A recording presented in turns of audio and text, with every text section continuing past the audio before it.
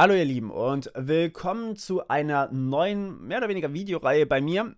Ähm, und zwar möchte ich mich jetzt an einigen Hacking-Challenges probieren, die vielleicht nicht unbedingt von mir sind, sondern vielleicht von anderen Leuten. Das heißt, ich weiß selber nicht, wie es funktioniert. Ich werde da auch selber oder ich brauchte auch selber immer ein paar Stündchen, vielleicht auch länger, bis ich die Dinger gelöst habe. Manchmal auch einen vollen Tag, das ist echt krass.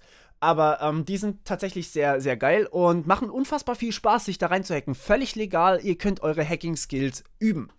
Ähm, ja, warum, warum gibt es sowas oder wo gibt es sowas? Wir wollen mehr davon, ja? Ihr wollt ja immer mehr Hacking-Challenges, ganz einfach. Ähm, Vulnhub.com, das ist die Seite, auf der ich gerade bin, wie ihr hier oben sehen könnt. Da gibt es ganz, ganz viele Hacking-Challenges und die könnt ihr euch quasi einfach runterladen.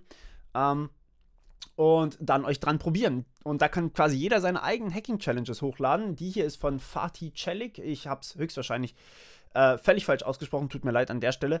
Aber ja, ähm, kam auch erst am 9.3. raus und ich dachte mir, ich versuche mich da jetzt einfach mal dran und wollte euch das ankündigen und euch erstmal so zeigen, wie das geht. Ich werde die zukünftigen Hacking-Challenges nur per Textpost ankündigen. Das heißt, ähm, ich werde auf YouTube, da kann man ja auch Textposts verfassen, werde ich ankündigen, hey Leute, ich werde mich jetzt an Hack in OS 1 probieren. Ähm, wenn ihr auch euch dran probieren wollt, dann probiert es jetzt und meine Lösung kommt in ein paar Tagen, zum Beispiel.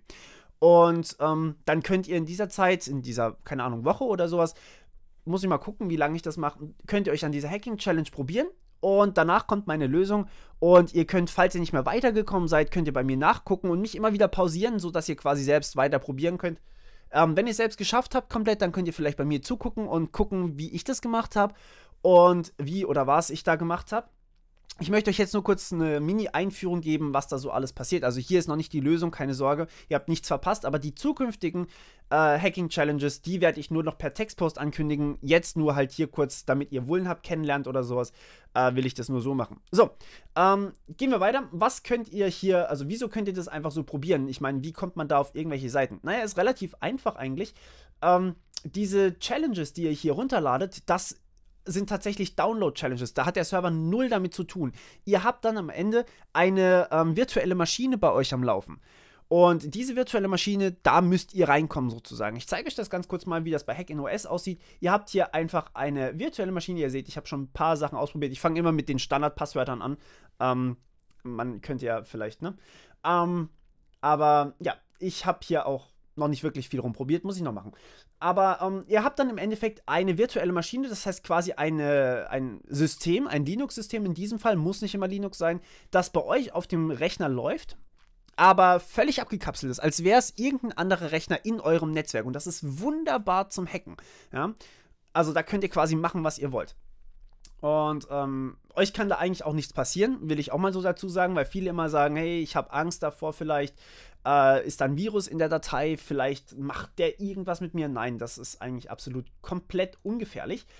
Und ja, jetzt ganz kurz, wie könnt ihr dieses Ding runterladen? Das ist eigentlich relativ straightforward. Ihr habt hier einen Google Drive-Link. Ne?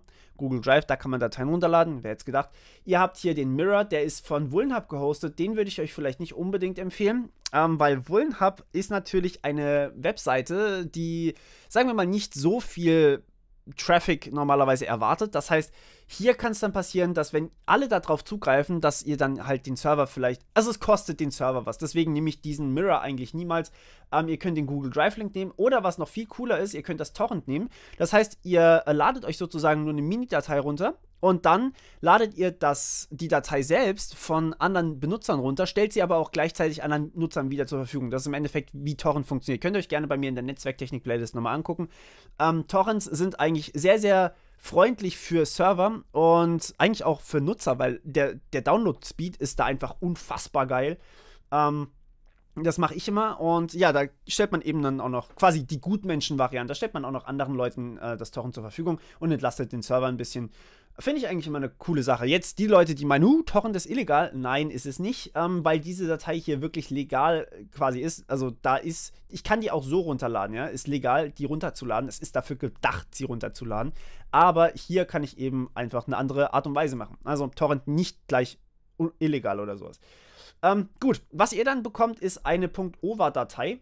Ähm, hier steht auch dabei, was es übrigens für eine Challenge ist. Also ist eher Beginner-Level CTF Vulnerable Machine. Wobei ich jetzt die gar nicht so Beginner-Level fand. Also das, was die hier als Beginner-Level sehen, war bei uns bisher eigentlich eher die Advanced ähm, Hacking Challenges. Also es ist nicht so einfach. Ihr müsst schon ein bisschen was drauf haben. Dazu komme ich gleich.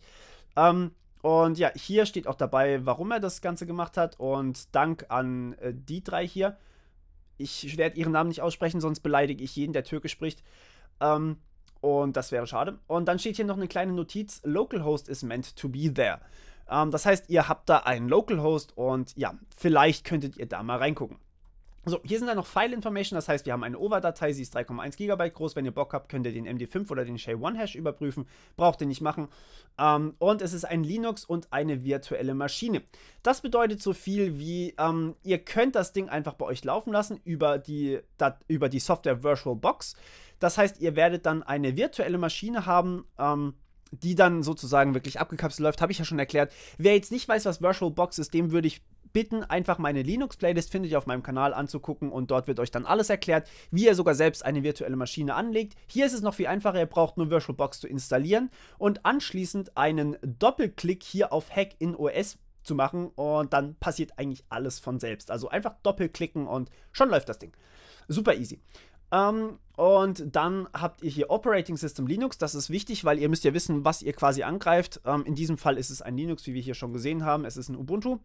Und das müsst ihr dann halt irgendwie angreifen. Hier unten steht noch ein bisschen was zu Networking. Ist in dem Fall jetzt eher uninteressant. Ähm, die IP-Adresse ist automatisch zugewiesen. Das heißt, ihr müsst erstmal noch die IP-Adresse rausfinden. Das ist dann unser erster Schritt in der Lösung auch.